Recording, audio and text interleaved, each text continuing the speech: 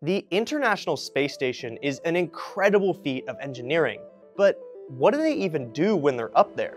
You may have seen some of the footage of the astronauts taking spacewalks, which are cool on their own, but they're vitally important for installing upgrades and doing external repairs. But that's not even the coolest job on the ISS.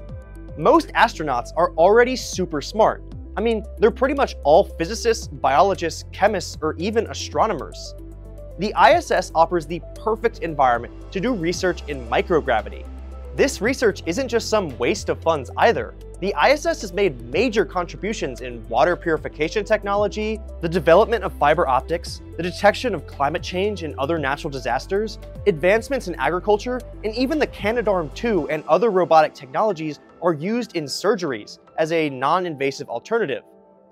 The ISS isn't just a symbol of incredible engineering, it's saving lives.